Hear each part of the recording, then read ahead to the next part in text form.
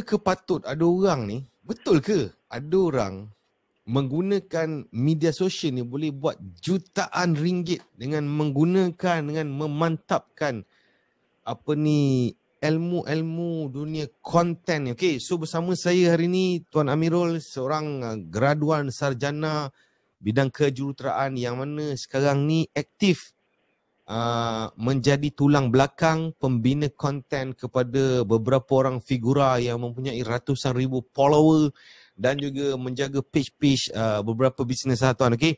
So tuan uh, sebelum tu boleh saya tanya tak tuan? Kenapa sekarang ni kenapa penting ni tuan dunia konten ni? Untuk apa? Untuk siapa tuan? Okey.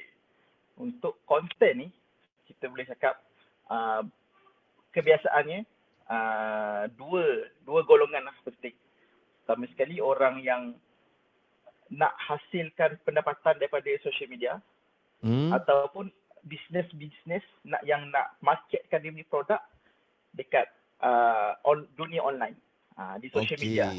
Hmm.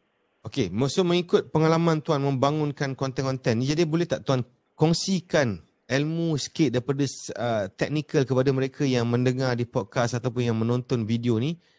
Uh, apa-apa ada tak apa ni dari segi technical dia? Maksudnya mungkin kalau orang tu baru nak start buat uh, buat video dia tak tahu nak editing pakai apps apa. Mungkin tak ada laptop tak ada PC pakai handphone pakai apps apa.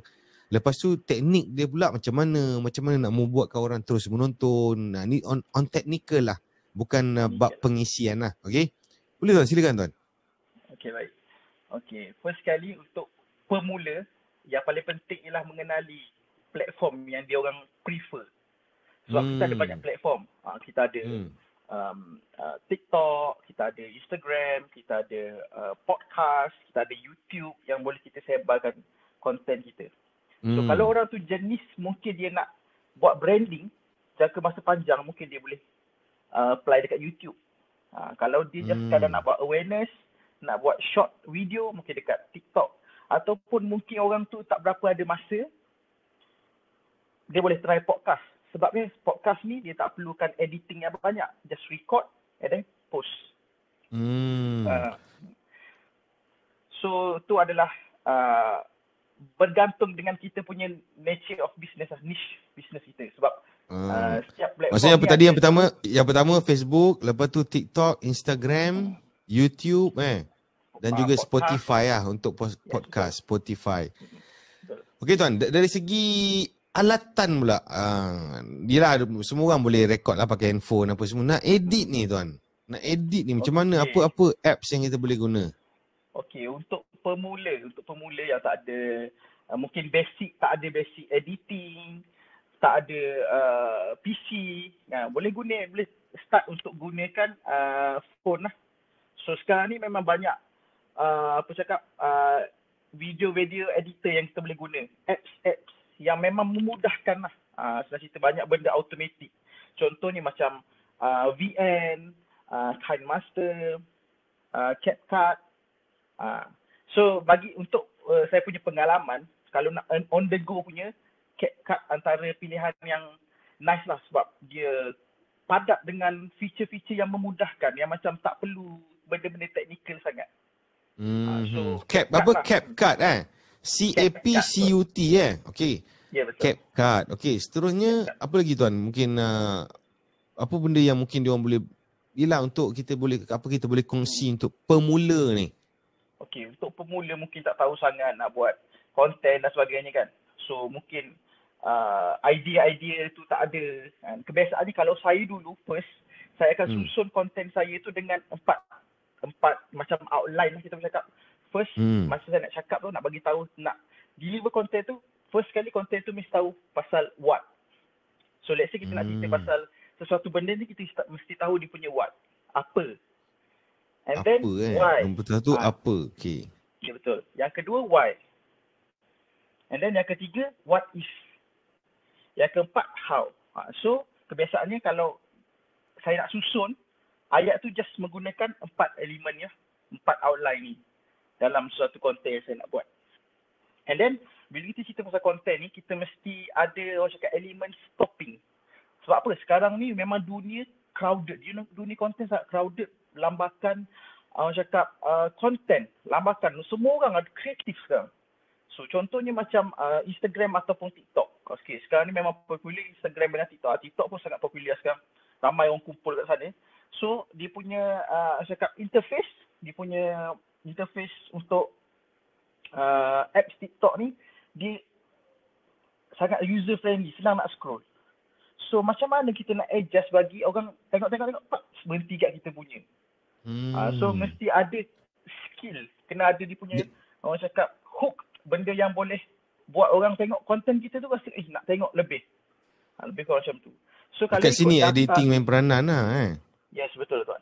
So untuk uh, apa cakap untuk buat uh, orang cakap hook untuk orang berhenti dekat konten kita tu mesti ada uh, beberapa elemen lah. Contohnya macam kalau kita perasan dekat TikTok dia orang menggunakan uh, tips-tips. Contohnya uh, tiga cara untuk uh, bersih kasut contohnya. Uh, ada yang menggunakan teknik-teknik macam transition. Dia buat uh, teleport ke. Kalau yang sekarang ni tengah popular yang uh, Spiderman tu. So benda tu nampak nampak cool. Uh, tu antara elemen-elemen macam orang fikir eh macam mana dia buat ni. Ataupun bila kita kongsikan tips, eh tips apa ni aku belum tahu. Uh, so tu antara elemen-elemen yang orang cakap boleh hook audience lah untuk berhenti. Sebab kalau ikut uh, sains uh, apa ni kajian, kalau ikut kajian masa untuk orang stop hanyalah 3 saat. So kalau dalam masa 3 saat tu let's say kita punya content sangat menarik. Tapi yang first content kita tu dalam masa 3 3 saat tu tak menarik, so orang akan scroll je. So 3 saat tu sangatlah penting. Hmm, hmm, macam tu kan. Hmm. So itu yang hook lah nak hook dia tu. Jadi apa yang tuan sebut tadi tu, jadi mereka yang dengar Uh, video ni bolehlah cuba teknik-teknik ni. Lagi ada tak tuan apa benda yang mungkin perkongsian dari segi teknikal-teknikal ni? Okey. Kalau cerita uh, macam saya cakap Adi kan, sekarang ni saya sangat berminat dengan podcast lah. So hmm. podcast ni memang kalau untuk orang yang uh, cakap uh, nak kurangkan editing time, memang boleh apply. Sebab podcast ni, dia ada, uh, di, kita just record, And kadang-kadang kita tak perlu pun nak cut. Macam kalau video mungkin kita perlu cut video di tempat-tempat kosong kan. So kalau hmm. untuk podcast ni kita boleh record and then kita just apa cakap um, uh, publish upload je. Upload hmm. je. And then hmm. sekarang ni uh, ada dekat um, nama dia podcaster. Okay, podcaster ni uh, macam website yang kita, boleh kita guna untuk kita record untuk hmm. kita record. Uh, macam contoh sekarang ni kita record menggunakan uh, hardware. Kita uh, macam tuan menggunakan hardware yang kira boleh cakap canggih lah. Untuk hmm. pemula, mereka boleh gunakan podcaster ni. Podcaster ni, dia, hmm. kita boleh invite and then uh, apa ni cakap audio tu dia akan masuk ke dalam cloud podcaster tu. Audio saya pun akan masuk. So senang kita nak buat editing. Maksudnya uh, tak ada, kalau alat tak lengkap pun boleh start lah. Boleh. Eh. Ah, boleh start. Memang benda basic maksudnya sekarang ni biasanya orang akan ada phone dengan orang akan ada uh, apa cakap earphone. Benda tu memang basic. So maksudnya orang memang sekarang ni boleh mula dengan apa je yang dia ada. Sebab memang tak logik untuk zaman sekarang ni orang gunakan uh, orang tak ada phone. Orang yang tak ada tak ada smartphone ni memang pelik lah untuk sekarang hmm. ni. Hmm. Betul kan? Jadi saya saya juga nak kongsikan satu uh, fakta, okey, fakta antaranya semenjak uh, semenjak uh, ke, apa ni orang panggil perkembangan dunia media sosial ni baik di Facebook, Instagram, TikTok dan sebagainya ni maka munculnya ramai jutawan-jutawan baru melalui platform-platform ni. Jadi sebab tu guys kepada kepada uh, korang yang menonton hari ni kenapa um, kita kongsikan benda ni sebab mungkin ramai orang dia tak tahu macam mana nak start at least dalam perkongsian kali ni dapat uh, serba sedikit dari segi nak guna apps apa tadi lepas tu. Dan apps ni nak tak nak kena selalu buat apa tuan kan betul tuan. Untuk kita berlatih lah. Kena sekali kita kita edit edit edit. Lama-lama insyaallah akan mahir. Sebab ada orang dia mungkin dia tak tahu langsung nak guna apps apa. Jadi hari ni mungkin akan memberi manfaat kepada mereka yang mendengar.